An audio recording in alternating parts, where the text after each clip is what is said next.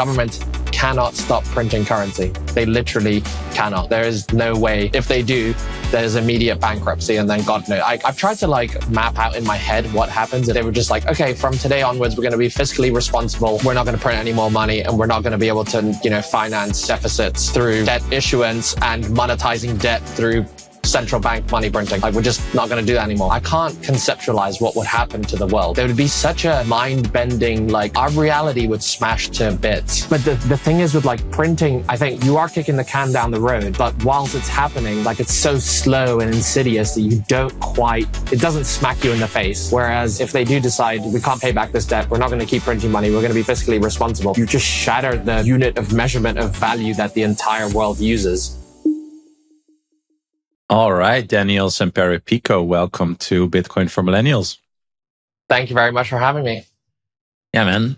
I'm I'm looking forward to this uh, conversation. I uh, I love your tweets. I think it's also I think your journey is interesting.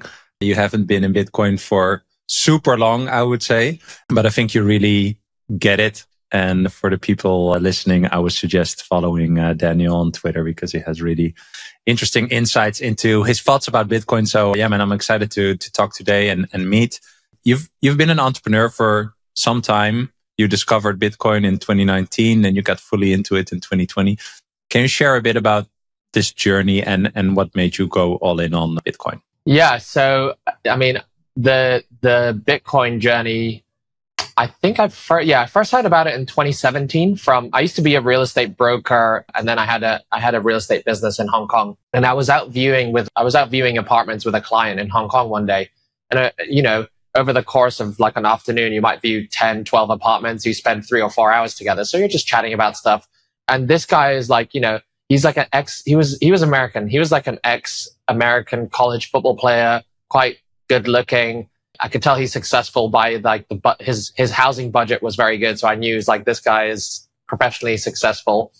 Uh, and then he just started talking. He started telling me about Bitcoin and Ethereum. Right? He was telling me about both at the time, and so I remember. Okay, it was like it was like the the messenger mattered for me to receive the message, right? Because the person, you know, the person that I was hearing it from was somebody that I was like, okay, I trust this guy or this guy's successful. There was there was like some personal brand aspect of him that made me open to the idea. But of course, you know, I was like, okay, this guy's told me about Bitcoin. I should look into it. I go home, I put Bitcoin in on Google, probably read like the first thing that comes up, which is some BBC article saying, you know, that it's tulip mania and it's a bubble and it has no intrinsic value. And then I read that it's like open source code. So anyone can copy and paste it and make their own Bitcoin. and I I'm like, okay, this is this seems like a scam or just, you know, I'm like, I'm not into it. But of course, you know, I make a note to watch the price and you I think at the time this was like March or April 2017. So maybe the price was like one or two thousand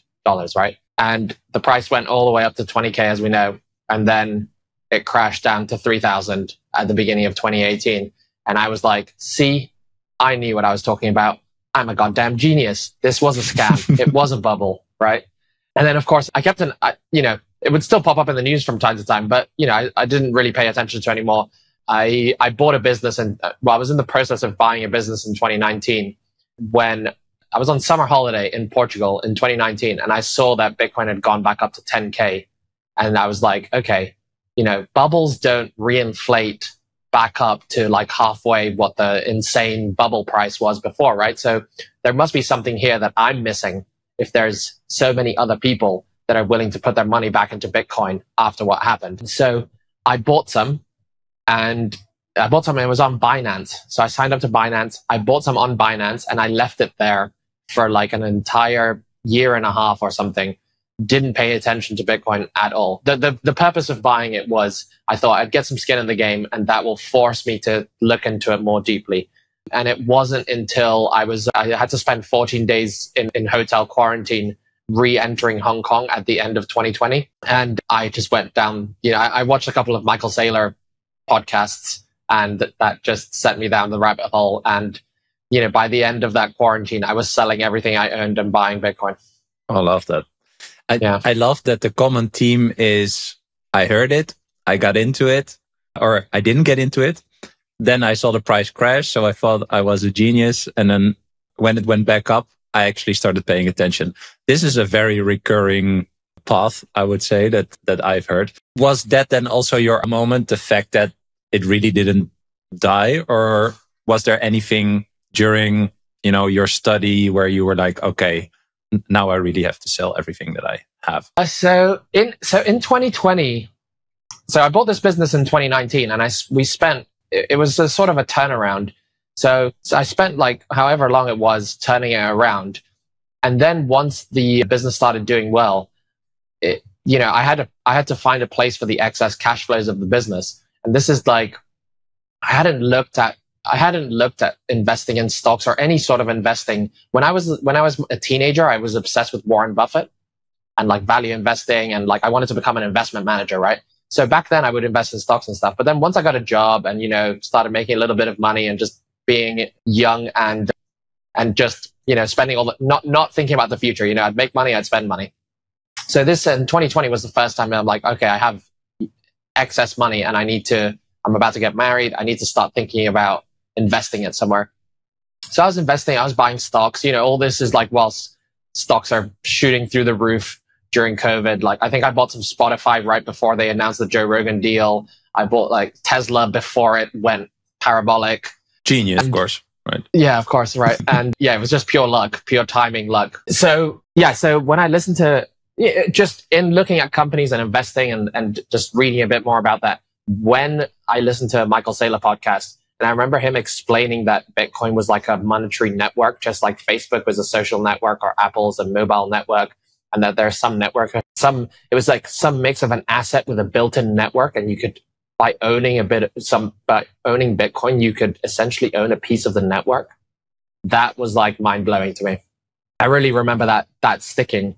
And then I was like, yeah, this is, I, it just seemed like with Bitcoin, I, you know, with stocks, I had to understand what Tesla's business is and what Square's business is and what Spotify's business is. And like, I think is the CEO going to f- mess something up or whatever? With Bitcoin, there's not, none of that to worry about. Once you understand the fundamentals of Bitcoin, then that's it. You don't have to like, you don't have to like keep track of it so much, right? You yeah. can go on and do other things with your life, which yeah, became being obsessed with Bitcoin. But what I mean is like, it's a place where you can just park your money long term and you don't have to worry about if the CEO is going to die or if they're going to change strategy or if another competitor is going to come along and, you know, steal market share from them. All the operational risky stuff and the human risky stuff just didn't exist for Bitcoin. So I was like, this is brilliant because I have my business. I want to focus on that.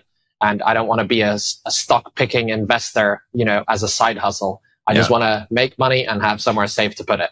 And so, yeah, so I was like, this is this is the asset I want to earn most of my I want most of my savings to be in this. Yeah. To be honest, I think this is the pitch for not not only millennials, but I think especially for for millennials, right? Like if you're in the phase of your career where you're starting to make more money or with your business, etc. It's actually funny that you pitched this because I just uh, this morning I ran into something someone that had I hadn't seen in like two years. And I was walking on the street. They saw me. We had a chat, and he was like, "Oh, I see you're you know talking about Bitcoin a lot. I'm like looking into investing, etc. But uh, isn't Bitcoin like really speculative?" And I said what you said. Plus, I said, you know, you're also speculating on the fact that Elon Musk wakes up in the morning, right? Or that Tim Cook doesn't die, and you know, so everything is speculative, right? Like this argument is not really an argument. But what I use as an argument for Bitcoin is the same as what you said. Like it's a constant, right? Like I can research how it works. Once I understand that the entire goal is to keep showing that it just follows the rules as intended, like it stays the same, basically Bitcoin as a, as an asset compared to, you know, I don't know, supply issues from Tesla or uh, some legal stuff from Apple or, you know, what, whatever information is out there that could influence the thinking of people about this stock or the actual performance of the company.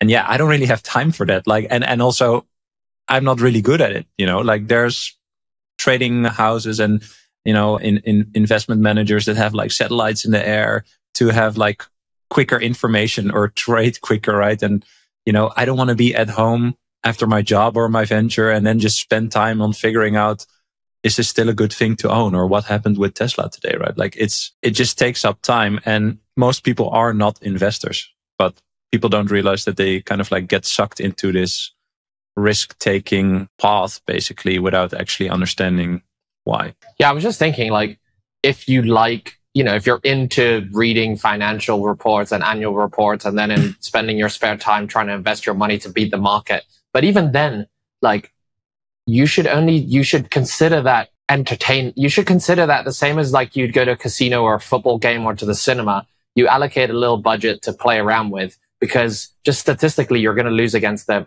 S&P 500, right? Mm-hmm. You're not going, you, what is it? 99% of like investment, active investments do worse than the S&P 500.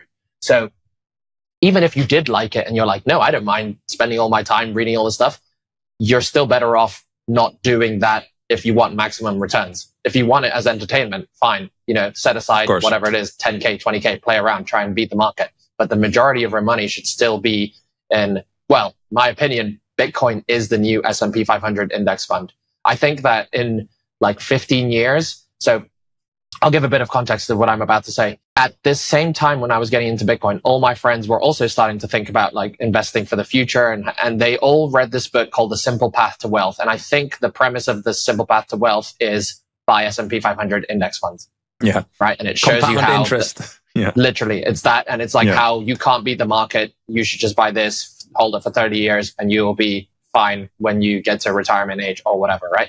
I think that somebody will write the simple path to wealth equivalent, but instead of S&P 500 index funds, it's going to be Bitcoin. Does your Bitcoin custody setup keep you up at night?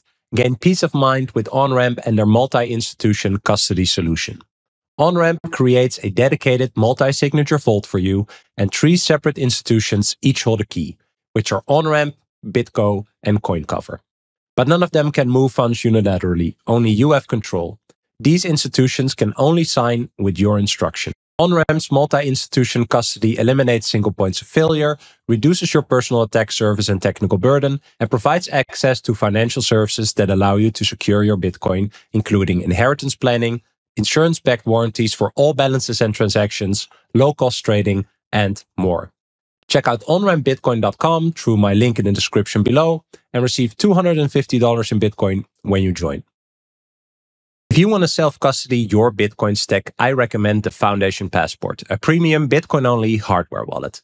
I've been using mine for about a year now, and I love the design and ease of use. And with Foundation's mobile wallet companion app Envoy, your initial onboarding is super smooth and straightforward. The Passport is fully air-gapped, which means you never have to connect it to the internet or any computer. The Passport serves as a signing device to sign transactions on your Envoy app or any of your other favorite software wallets like Sparrow or Blue Wallet. The Foundation Passport also offers encrypted backups on a micro SD card and is built with 100% open source hardware and software. I love what Zach and the team at Foundation are building. And to learn more about their mission, please check out episode 27 of this podcast. If you consider buying a Foundation Passport, you can use code BRAM, that's B R A M, to get $10 off at foundation.xyz slash BRAM.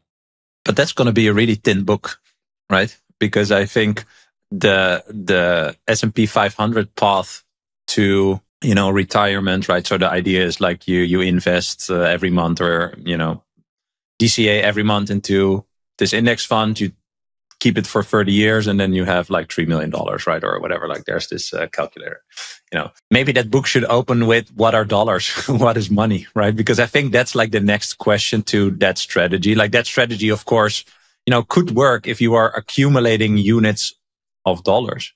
But I think the, the conversation that Bitcoin joins and shakes up is what is the value of, of these dollars? So you think you saved because you have more units, right? Or you profit because you have more units. But yeah, once you understand that the value of those units in 30 years will, you know, most likely be way, way down, then you still have a problem. Like then, then it's not a good strategy. And I think that's where Bitcoin kind of like enters this conversation. Yeah, I think if you look at the 30, if you look at the S&P 500 over 30 years, it's probably you know, you have the same purchasing power. It, it just helps you just keep your purchasing power, right? You're not necessarily increasing it, which yeah. is much better than much better than saving in dollars. Hundred percent. But with but, yeah. with yeah with Bitcoin, we're hoping that we can do a lot better than that.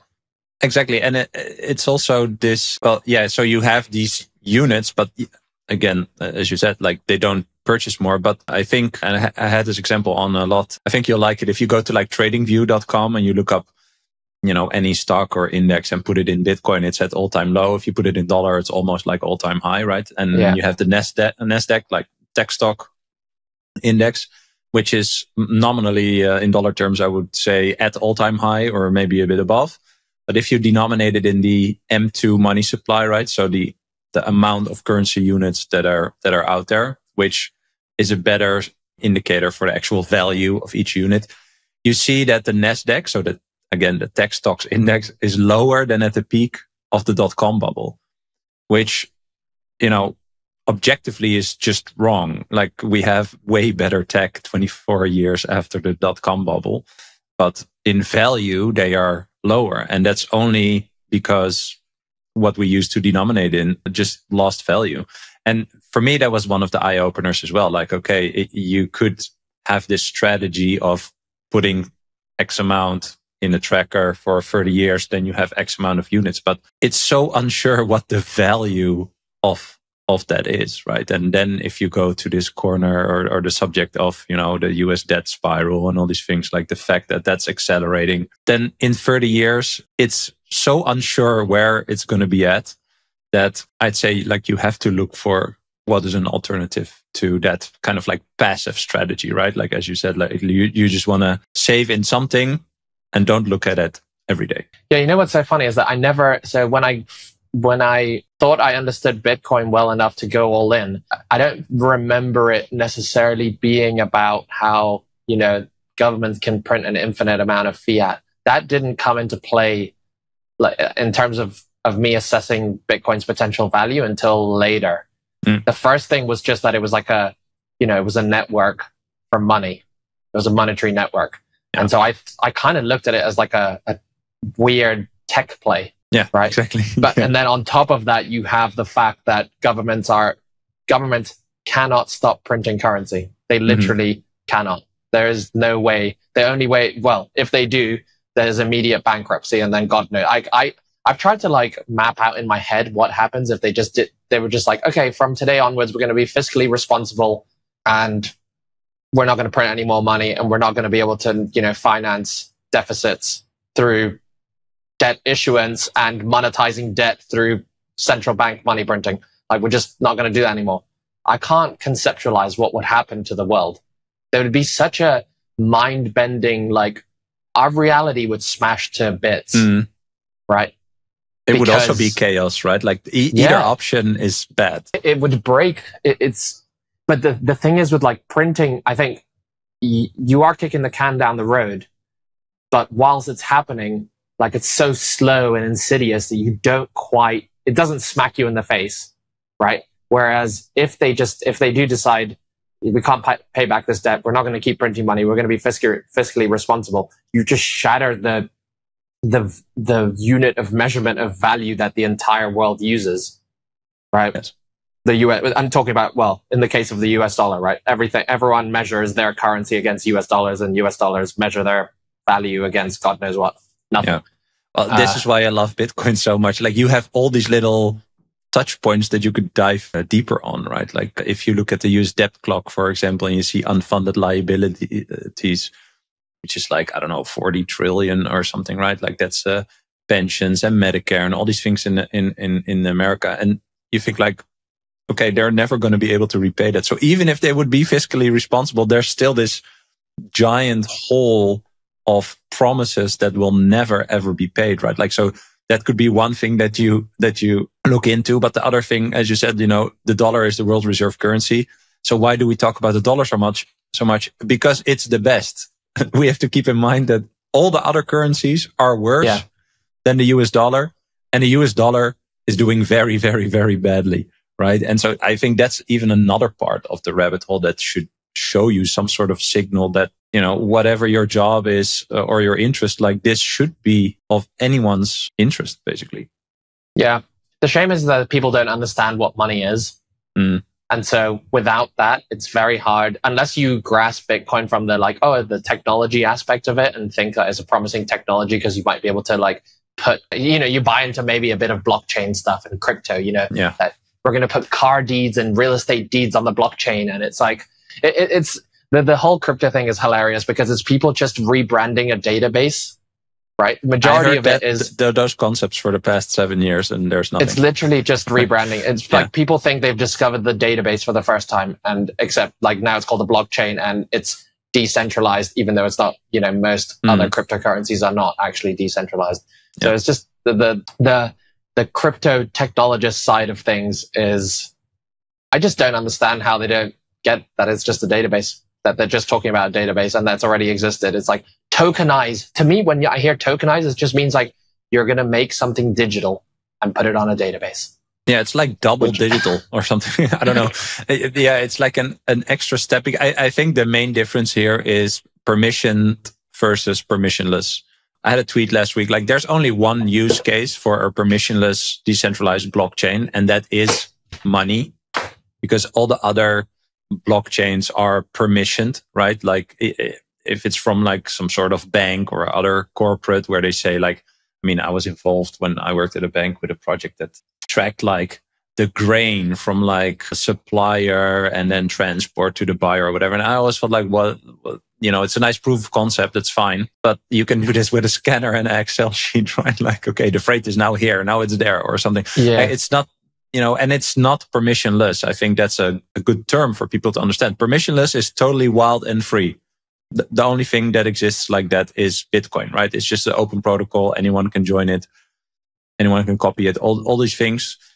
And any other blockchain is, or, or blockchain type project or initiative, whatever. It's just not like that. It's all permissioned, whether it's built by a startup or a foundation or a corporate company. Nothing is permissionless. I mean, even if like let let's say that we're being let's give you know the people who believe that these things are decentralized the benefit of the doubt and say okay you know what's the avalanche for example avalanche is let's say that it is decentralized truly decentralized like bitcoin and what's the use of it like yeah, we don't you know well you can build a system where ava token fuels interactions but, but all of it th- that's for all, every of these blockchain yeah the, it's like it's like they're all platforms for creating your own casino chip or, you know, thing that people can gamble on the value going up. That's basically it. I think honestly the the you know I heard I heard crypto being called a shitcoin casino for a long time. But then like one day semi recently, like the last year and a half, like I truly understood it that it is a shitcoin casino because it is literally just gambling.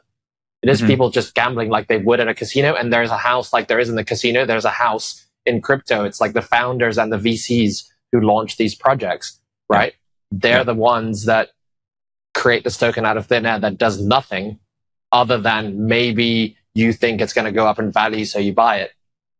I think the, yeah, I think the bigger point to steer people towards, you know, one, now that we're talking about this is, you know, realize why are people doing this? You know, I think we touched upon, you know, playing the stock market and, you know, the entire reason why you're doing that, probably subconsciously, right, is because you just cannot save in your money anymore. People think they need to be investors. People think they need to play the stock market. And then crypto is then maybe for younger people, right? And, you know, it's, a, it's a game, but it's, it's a it's a it's a zero sum game because you're playing other people. And again, if you enjoy it, you know, totally fine. But I think you have to be honest about the game that that that you are playing.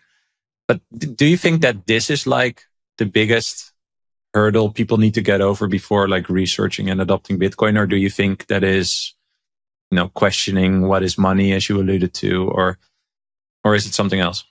Yeah, just I don't think that pe- I don't think that the majority of people I think the only way Bitcoin wins is if it's it it's the best money and we have to use it. We basically people are compelled or forced to use it just like they are forced to use an iPhone or to use a laptop to work because it's the best technology to achieve some form of some outcome, right? So if Bitcoin can be the best thing at achieving the outcome of what we want for money, which is, you know, store of value, medium of exchange, unit of account, then that's how most people will use it.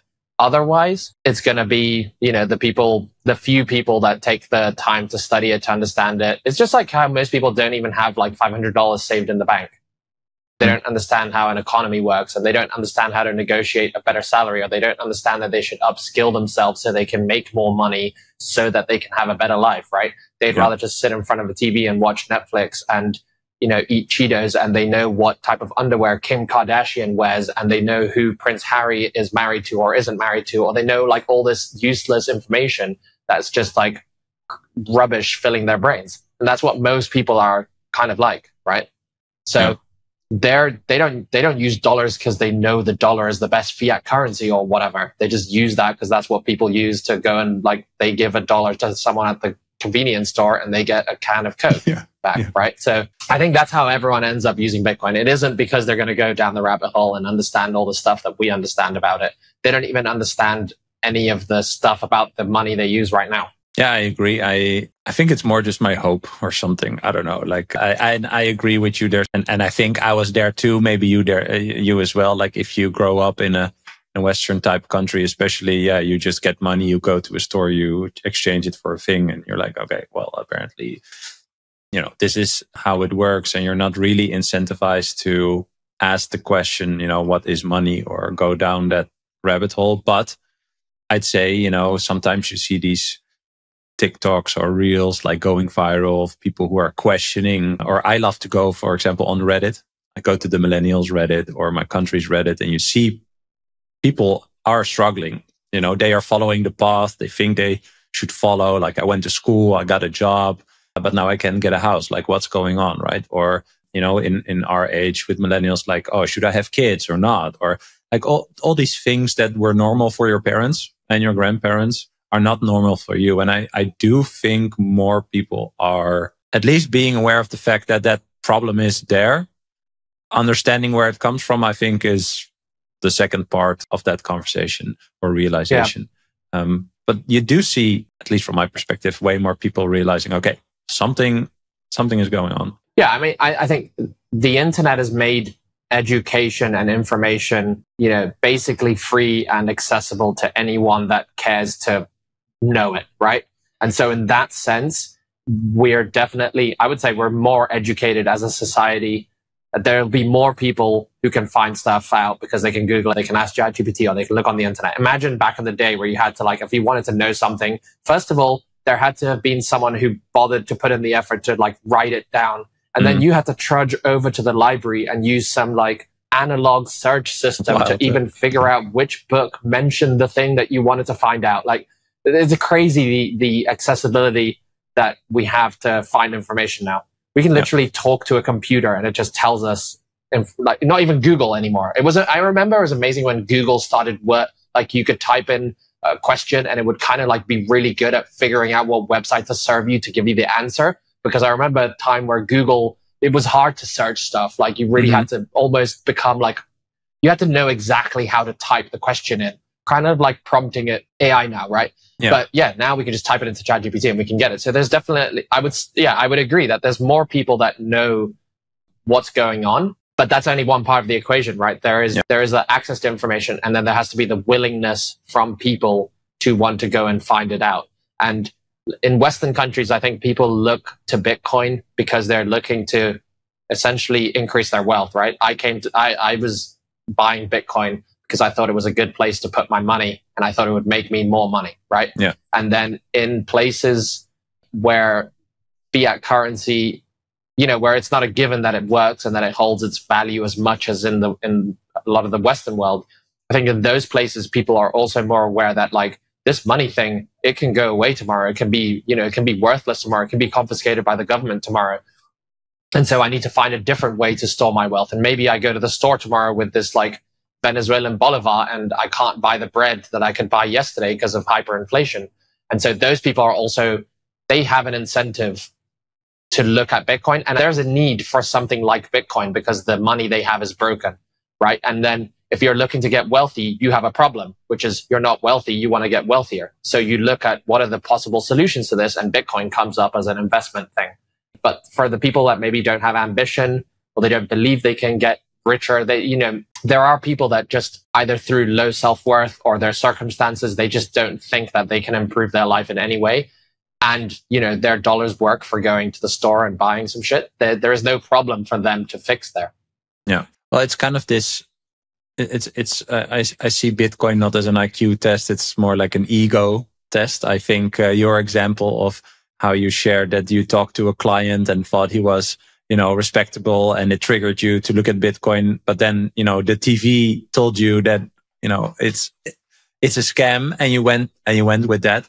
How do you look back on on that now? Do you also see it as kind of like this this ego test that you know gradually I would say like permeates over time, right? Like at one point you were like, okay, now I'm curious enough to actually, you know, take the steps to to learn what this actually is. Yeah, I mean, I think it was so the whole thing about thinking it's a scam and stuff. I think, you know, I look at some of the people in my life who I was a lot I was a lot more like them before than I am now. I think Bitcoin has changed me in a lot of ways, but one of the ways is that you think you know, the, the yuppie, the yuppie elite, right? The yuppie elite think that because they read the Wall Street Journal and the Financial Times and the BBC and Bloomberg, that they're smart and well informed, right?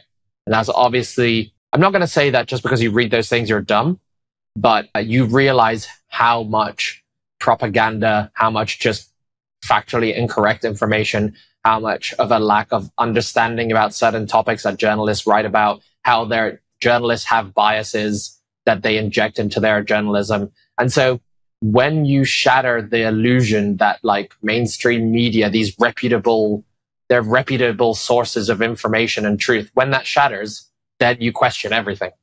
Especially if you are using them as your barometer for what's true and what's not, and you know, and that to stay to stay educated and informed. Yeah.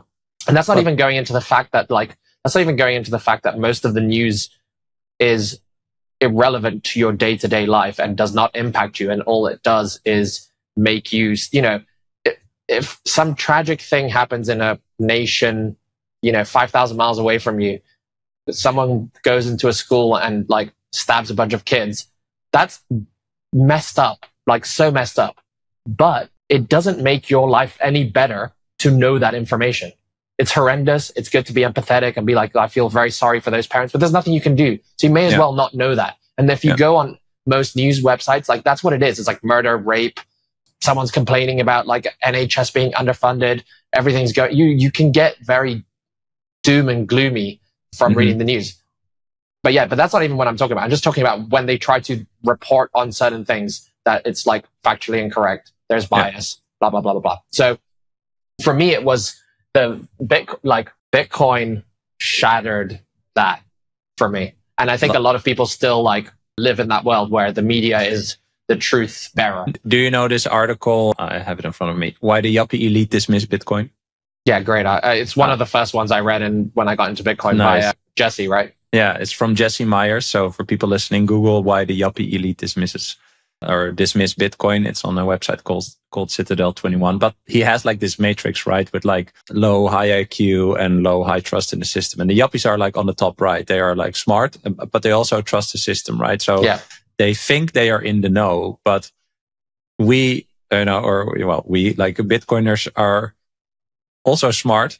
You know, a lot of people are high, high IQ, but they have less trust in the system. But so they are polar opposites, mm. basically and that's you know why why your yuppie friends probably then like dismiss you or you you know you just follow the herd or the group that you're in of course but what i think is funny is that once you really understand bitcoin and you see what like legacy media writes about it you know it's nonsense so then you start questioning okay what what else is nonsense right and i love by the way the example that you give i i've said this for many years like sometimes there's this news item in my country, you know, small uh, Western European country, about like, okay, there's a bus in India that drove off the road and like 50 people are dead, right? And then it, it, it says like, oh, uh, could be due to the road conditions in India or something, something. And then I've always thought about like, why is this news? What is the, what is the goal of this message, right? So let's say this happens in my little country. Do you think that would be on the news in India guaranteed not. Like why? Why? Why would that be? Right. So what is, what is then the goal of a message like this? It's either to, I don't know, bring your vibe down, like, oh, that's so sad, or just, you know, put random information in your head. But sometimes I also think like, you know, just the tone of, of the text is also kind of like, well, in India, the roads are shit, but here they're, they're great or something like that. but I, I've never been able to put my, my finger on it. But yeah, so I had to think of that when, when you said it. Like it has not, what, what is the purpose of something like that? Right. Yeah. I mean, I, I can't speak to like whether they, they will like target news like that from certain countries to make their own country seem better or not. But what I will I say is either, that, but, yeah. yeah what I what I will say is that the news is filled with news like that, regardless of where it's from, of like mm-hmm. people dying and all that. Because if you understand the business model of news, it's it's an advertising model, right? They're trying to get attention. They want yeah. you to click on an article, read it, so they can serve you an advert. And uh, if you study copywriting and persuasion and influence, and uh, you know that the way to get engagement and attention is to elicit an emotion, right? And the most powerful emotion that you can elicit that gets like the most sort of engagement is fear.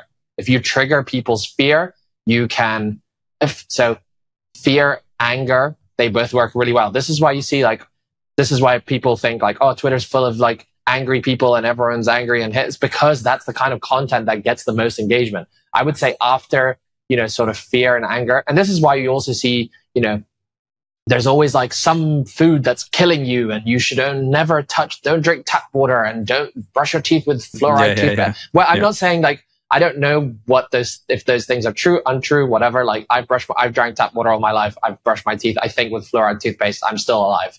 And everyone that I know does the same thing. But there's always all these things. And those things are always like proliferate, proliferating because they're like fear based. And then there's anger based. You know, Trump's a misogynist and Kamala's a communist and she's going to ruin the country. And like those are all things that elicit anger. And then you have the probably the next most powerful emotion to elicit engagement, which luckily is positive, which is humor. And the, the internet is full of memes and funny stories and funny shit happening and funny videos, right? That's the next best thing. And then so on down from that. And like the sort of like positive feel good stuff doesn't make the news because it's like might even yeah. make you envious. Might even make the person envious. Like, oh, I don't want to click on that. I don't want to know how somebody like got lucky and like, you know, their yeah, life's exactly. going really well yeah. when mine is shit. It's better to feel like, well, luckily I didn't fall off a bridge in India. You know? Yeah, exactly. yeah, crazy. Exactly. So, now that you you like are all into Bitcoin, what what is like your favorite? I think we talked about like why why Bitcoin or kind of like what is the what is money and stocks and investing and stuff like today you're obviously also into Bitcoin. What is kind of like your favorite mental model for explaining Bitcoin and, and, and why it's so important? I'm not sure that I have one. And I that's a bad answer. You know what? To be honest, like when people talk about mental models, I, I'm like, it's, I can't remember what the other word was. People always say like thinking from first principles, right? Mm. And I was like, and I hear, you hear like Elon Musk and, you know, any Tim Ferriss podcast, like, oh, I like to think of this from first principles. I'm like, I still don't know what that means. And I still don't quite know what a mental model is in terms of like, yeah, I mean, the way I like, I think the simplest way, I think the thing that draws people into Bitcoin, at least people in the, in the Western world, in the, in sort of the wealthier countries is number go up, right? Mm. And so if you can get them to understand supply and demand and the fact that Bitcoin is scarce and fiat money is not scarce, then, you know, number is going to go up against fiat currency forever unless they stop printing money or something. So that's the easiest way to explain it. I yeah. find that the simplest way to explain it. It still requires an understanding and a belief. You know, it's it it it requires, like you said, a shattering of trust in the system. Because I have friends who I say that to, and they say, "Well, the government will figure it out. They'll just figure out how to make mm. another currency or whatever." You know, yeah. they immediately don't even want to engage in that. I don't know. What's yours? I think I ended on. So the guy I talked to this morning, I explained. I, I ended up on like time and energy. So I explained it like, okay, you have a finite life, right? You don't know how long you're going to be here. So your time is finite and thus also the, energy that you can output within that time. Mm-hmm. And basically that is your productivity, right? Like that's what you can output in order to create things. So whether that is in a job or a venture or a product or a service doesn't doesn't really matter. Because when you look around you, you, right, like everything you see costs energy to create or, or maintain, Lit- mm-hmm. literally everything. So if you trade your finite time, finite energy in time, right, your productivity for a reward that can be infinitely created without doing actual work for it, without any energy being expended to create that reward, then that is, uh, yeah, pretty dumb trade because the people, right? I think it's interesting. You said they, right? Like they, the government will figure that out. So it's energy combined with realizing that the government is just other people, right? Just other people that fall into some sort of system, try to do their job within the system, you know, not even in a, in, in a malicious way. They're just following, you know, the orders or the structure or whatever. But you have to realize that they don't care. They don't care about your individual life as much as you do, right? So you expend this energy and time to build your own life in, you know, whatever way. But the reward, what you're using to build that, the money, right, is influenced by other people that don't care about you. So if you care about yourself, you should care about the reward that you get for expending this energy and time. And you should be rewarded or at least, you know, transform your flawed reward into something that can, uh, a, a finite thing that can actually store that energy, you know, towards the future in time and space until you want to use that energy to buy other things that cost energy to create or maintain. So I'm kind of like talking around that, that topic a lot because I think it doesn't necessarily introduce or pitch Bitcoin from the beginning. It's more getting them into this concept. Okay. Yeah. I, I agree that I have finite time and energy. I agree that I want to save this energy towards the future. Right.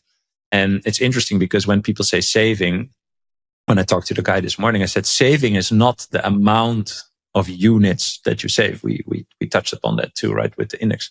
Like if I have more units in the future, did I grow my wealth or, or, you know, if it's the same amount of units in 30 years as I have now, did I save my wealth? No, because the, the, the thing that you save in represents something else because eventually you want to spend it or use it for energy, right? So it's kind of like money is like an abstract for energy.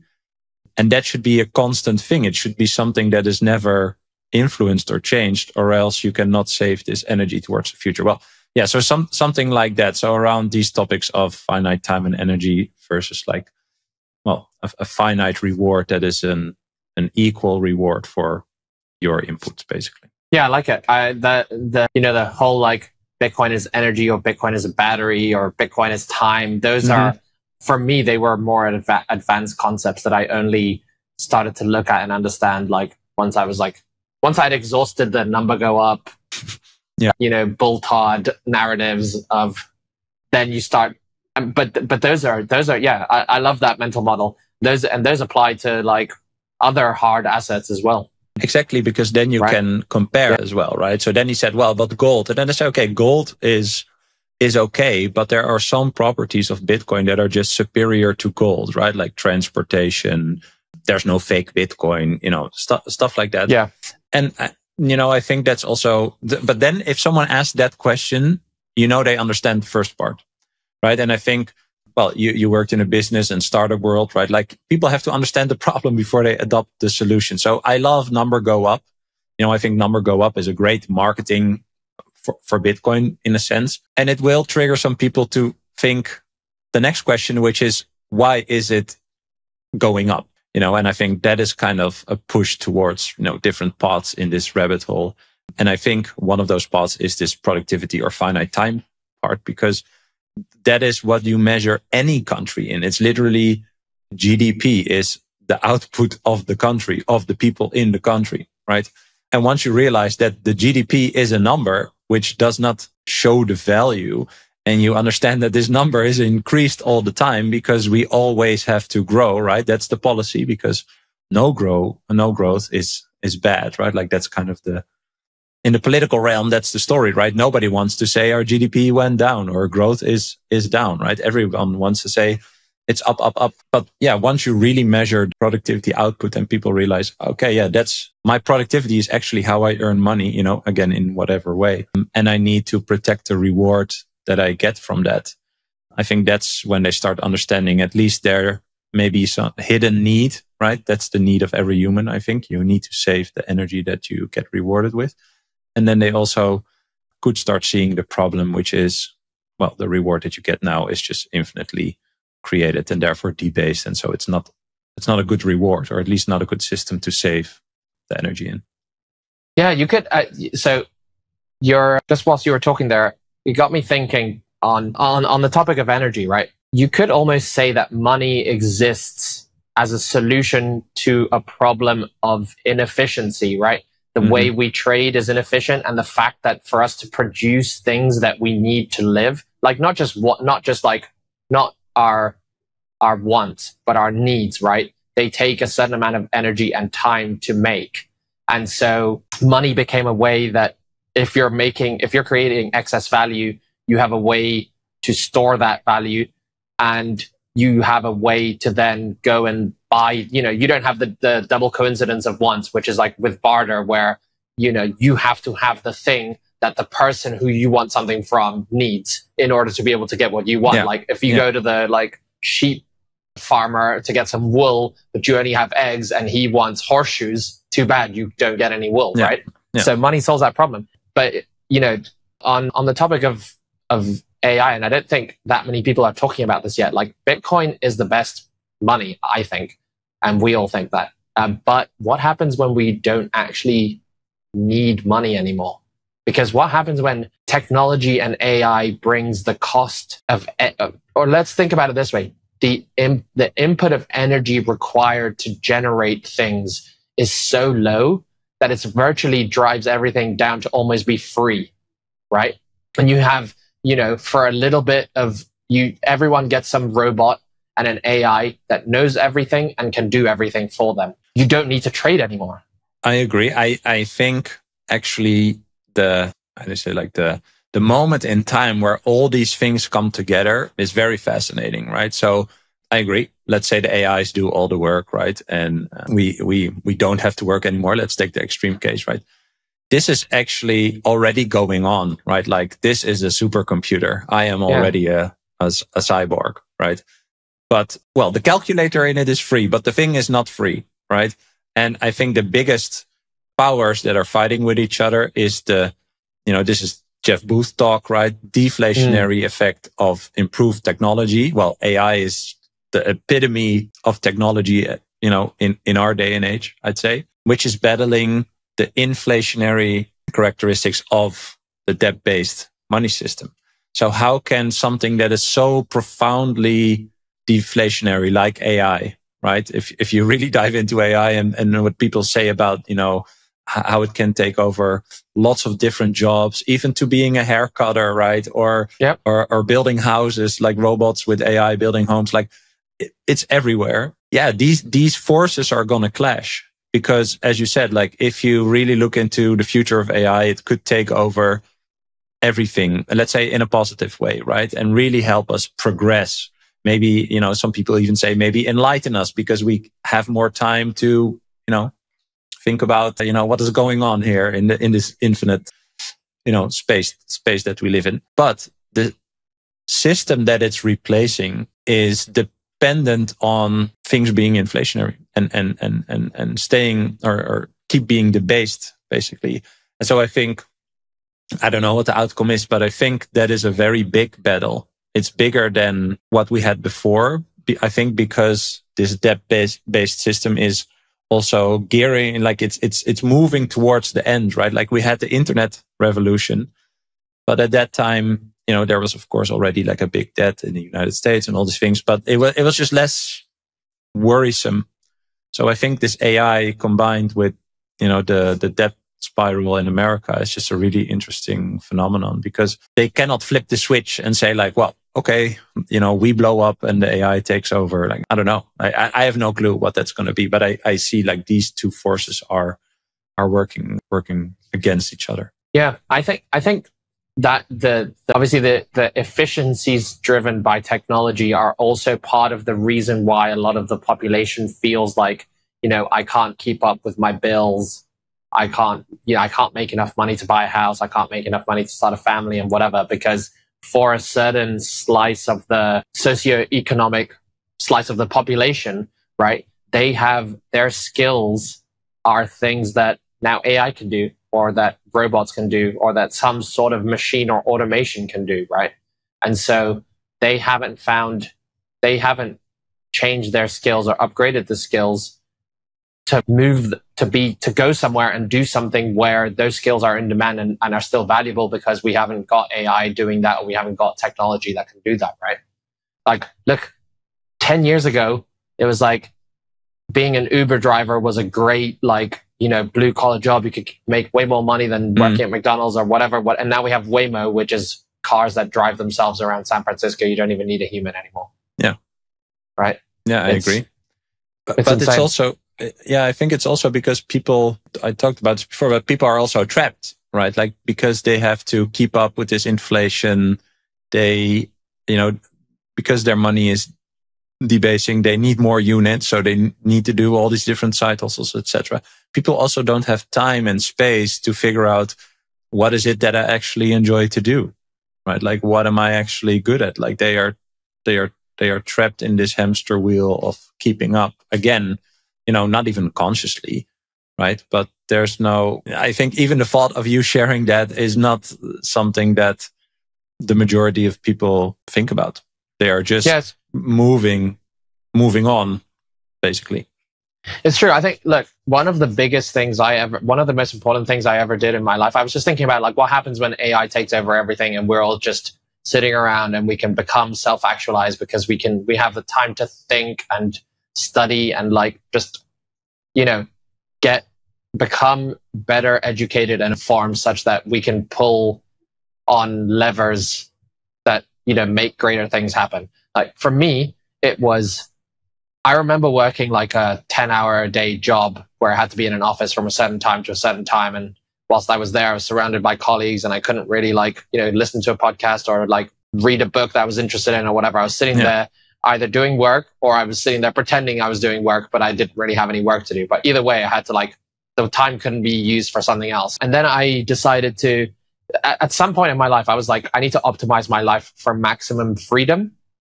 Obviously, you still need to work. You still need to make money to pay rent and be responsible, whatever. But there are ways to work that are lower leverage and there are ways to work that are higher leverage. And for me, the first little like leverage thing that I did was divorce my time from my income. And that I literally went from a job that paid a salary where I had to be somewhere nine to six or whatever it is, right? To, to working a sales job where I made zero dollars. It was all commission based, right? But I didn't have to be anywhere at any time, right? And yeah. so it was, I could, I could schedule my work and do it to the point that I needed to do it to make the money I needed to make. And then the rest of the time I could spend upskilling or reading books I enjoyed or, you know, doing exercise to make sure I was healthy or figuring out how I can make more money doing my job. But, but it was freeing that time up. And yeah, a lot of people are trapped in like gigs where they don't have that free time. You know, you, you work from nine to six doing some soul crushing job that you hate that isn't stimulating for you at all. And then you have to do a 45 minute commute each way on the subway you know, crammed with other people and you get home, you're exhausted. You don't have, I like when I did that, I didn't have the energy to go. I wasn't like get home at 7 p.m. and like, yeah, I'm going to cook a healthy meal and start a side hustle so I can get rich. And like, then I'm going to go to the gym. No, I was like, I'll sit on the couch, I'll watch like Entourage and eat a bag of Cheetos and then feel like shit the next day and go on with my life. So the best thing I did was divorce my time from my money. Uh, Cause yeah, that bought me, that bought me time and energy to invest into making my life better, figuring out, like yeah. even just having time to figure out what I wanted from life. What is possible? What are other people doing? How do they do it? How can I do what they did? Right. So this is like completely off topic to Bitcoin, but it is sort of not because it is about buying back your time so that you can invest it better in things that are going to make your life better. Yeah. And in, definitely in being way, able to save. Right? Yeah, yeah. Being able to save in a currency or in an asset that's not being debased like dollars are, right? Without needing to constantly keep up. If you're like doing stock market investing or whatever, that is very time and energy saving. And you can invest that time and energy into other stuff. Yeah. Yeah, correct. Entourage, the best show ever, by the way. So good. But what, what, so what made you make that shift in your mind then? Was there something someone said or something happened? Like what what was that for you then? It was just like literal pure. I can't remember why. So okay, now I'll go back. So I was working in a, I was working like a logistics. I, I graduated in 2011 from university. 2010, 2011. Anyway, it was like right, you know, still in the aftermath of the financial crisis. And I wanted to become an investment manager or work in finance or whatever. And of course, I didn't get any jobs in finance because there were none. Like I got to the last eight that for the Fidelity Investments graduate scheme. And I asked them, I was like, how many people applied for this job? They're like a thousand.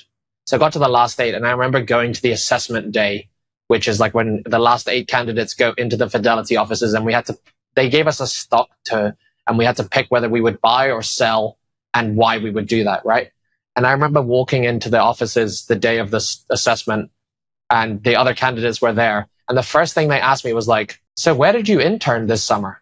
As if it was a given that I had interned at some bank, right? And they had like one's parents like owned a hedge fund, so they interned there. The other people, one guy had like completed his G capital degree. Anyway, I'm long story short. I wanted to get into finance, couldn't get into finance. So I just like after six months of six months of searching for a job, I got a job in logistics and it was like shift work. So I worked like six days on, two days off, morning, afternoon and night shifts. And during my like teenage years when I became obsessed with like investing and Warren Buffett, one of the things was like I read Rich Dad Poor Dad and he's big into real like Robert Kiyosaki, right? So he's big into real estate. So I was like, oh, real estate's how you get rich. That's you know, that's what I want to do. And it just so happened that one time when I was I quit one of my logistics jobs and I was about to take another one where like I was gonna get paid like three thousand US a month or something. Yeah, I'm like twenty four or something at the time. And it just so happened that somebody that a family friend was starting an online brokerage in Hong Kong and he was like, why doesn't your son come and work with us? And so I met up with him and he told me the deals, be a real estate agent. And yeah, you can be commission only, but you know, if you close this many deals, this is how much money you could get. And I was like, whoa, that's a lot more than I could make at the logistics job, although it's not guaranteed, right? But I just thought I can do it. And so I was like, fuck the logistics thing, went to the real estate thing. And I think it was the potential to earn that pulled me over there. But it was there I realized that having the freedom that I, I really enjoyed having the freedom because all my friends had normal like white collar office jobs. They had to be somewhere from it's not this is way before like any remote work was a thing or whatever. It was like pretty revolutionary. Like, wow, you don't have to go to an office and you don't have to be there. And like, yeah, but I also make zero dollars if I don't, you know, yeah. I can't just go to, I, I don't get paid if I do nothing. Right. Is, is this what sovereignty is to you? Yeah. I mean, sovereignty to me is like being able to do whatever you want whenever you want and not having to rely on anyone or at least to have maximum being able, you know, having so many options that you don't have to rely on any single option, let's say, right? Because you always rely on, you know, if you have a business, you rely on your clients on doing a good job and having clients. Or, you know, if you have a job, you rely on your employer to keep you there. And so you're always relying on something, but it's like you don't want to rely on one thing. Like if your employer mm-hmm. fires you, there's no other options. Or if your one client leaves you, you go bankrupt. Yeah. So sovereignty to me is having options and being able the options is what what like gets you the closest to being able to do whatever you want. Yeah. Before we move to what you're doing now i saw a, a tweet of yours that said the real vote is owning bitcoin and i wanted to ask you to explain your thought behind that. Yeah i mean i just uh, i think yeah i think i think that if we can get more people owning bitcoin it kind of it, it is the state requires a trust in fiat currency and control of the money to function, right? So if we can get as many people off using fiat or at least off trusting fiat and into Bitcoin, you automatically defund the government, right? And I think that's the only way you're going to create the systemic change that's necessary for at least the collapse that we're heading towards now not to happen, right? Because if governments keep having control of the money. It doesn't matter if you vote for Trump or you vote for Kamala. We're heading in the same direction. It just might be like one will take route A and one will take route B, but we're we're headed there no matter what. So I don't. I'm not like.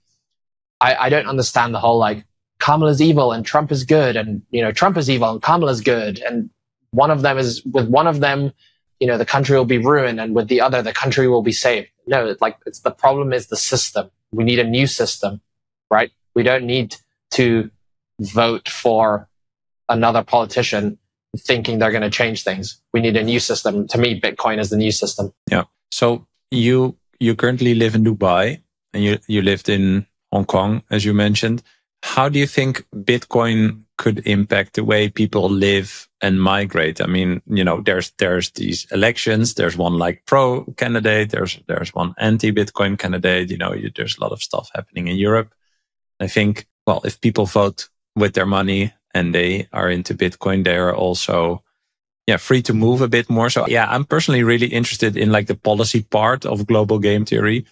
If I can move my capital anywhere, then you know I can move myself anywhere. What what's your view on that? Having lived and and and moved in in these countries. Yeah, I mean, you know, the the like you can you can move without Bitcoin, and you know you have US you have for, for most people in most Western countries, you can move around and take your capital with you. It's not super difficult. Uh, like I've mostly kept bank accounts open like everywhere I've gone. You know, they, I have like bank accounts that I'll keep forever, even if I don't live in those countries, just to have the optionality. But it is true that obviously Bitcoin lets you do it in a much more sovereign way because you're again not relying on a bank or some institution to let you have access to your money here or charge you for transferring from here to there, or you have to sell everything in one place and buy it back again in a different bank.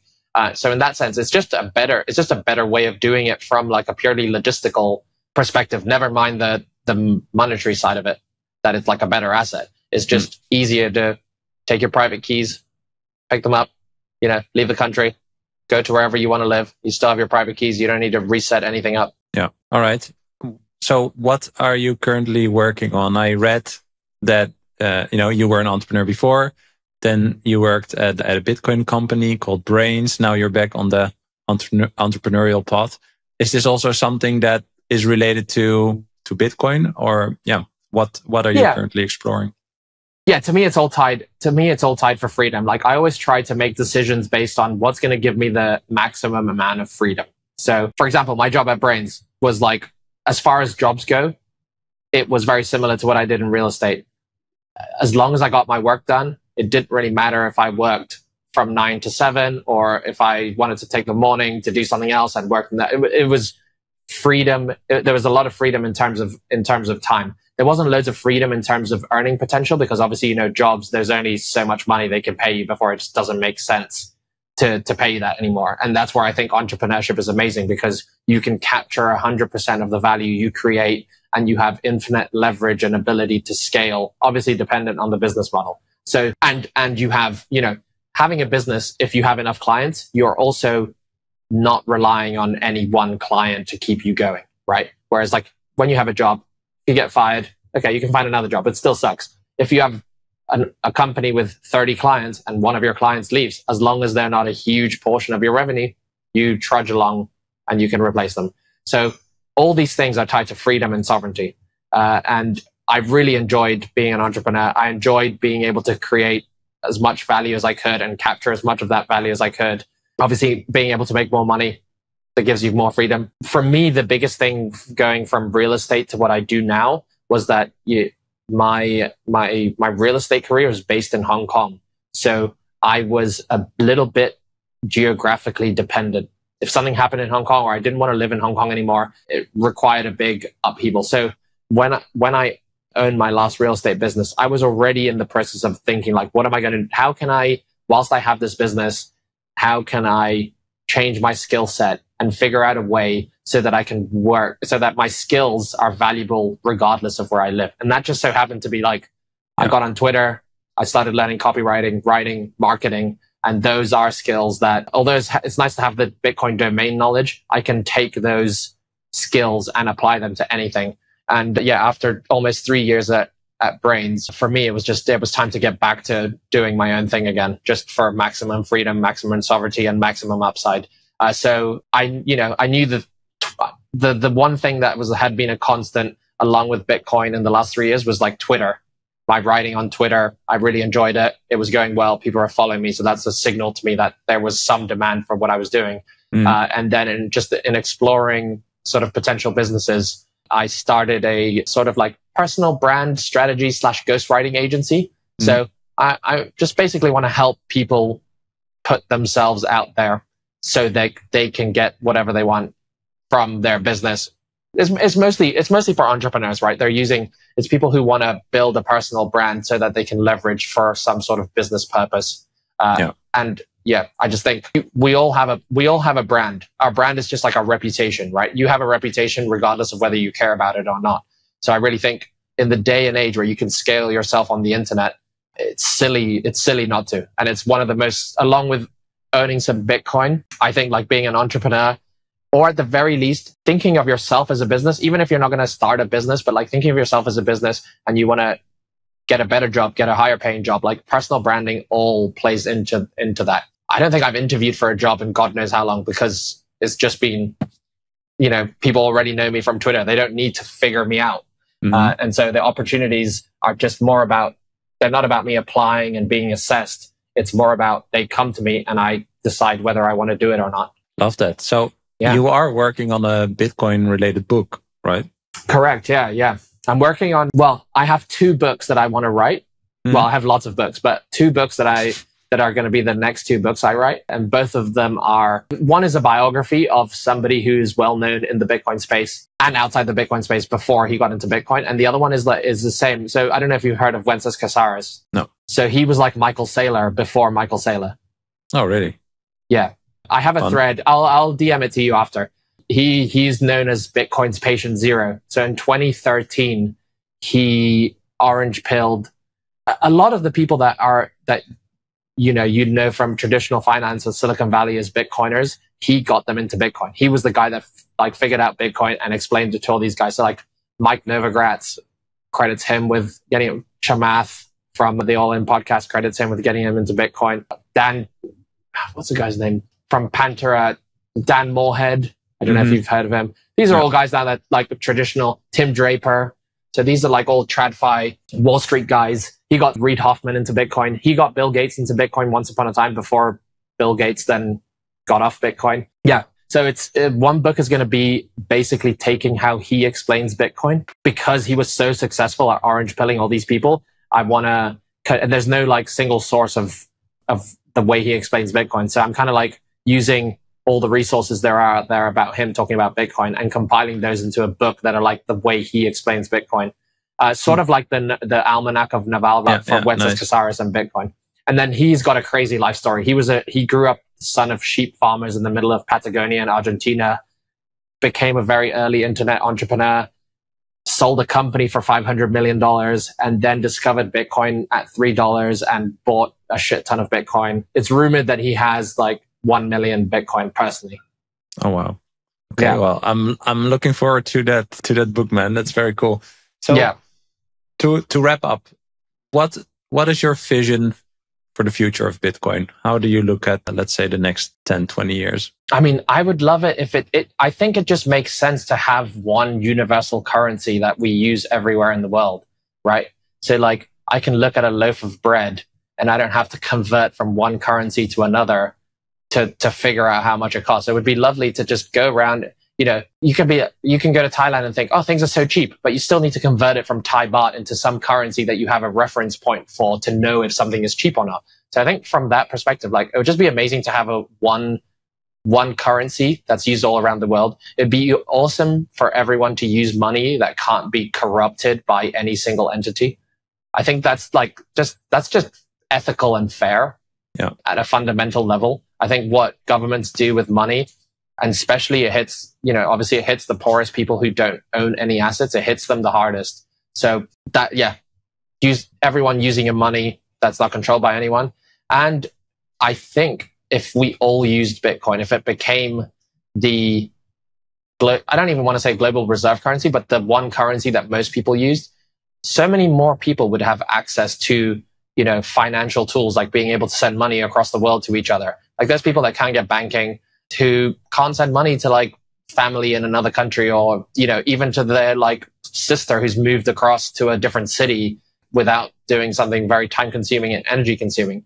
So there's so many advantages to it beyond the like debasement of fiat and all those things that it, it is just better. So that would be, I mean, I think that takes longer than, longer than 10 to 20 years it'll be interesting because like, you know, gradually then suddenly with, I think that the death of fiat currency ha- will happen. Well, let's just say the death of the dollar, the dollar when it does die will happen very, very quickly. And it'll just be interesting to see whether Bitcoin replaces it or whether it gets replaced by another fiat created by the US government, which is what's happened in the majority of times in the past is when someone's fiat currency dies, they just make another one and say, this one's now worth this much. And everyone goes, yeah. okay.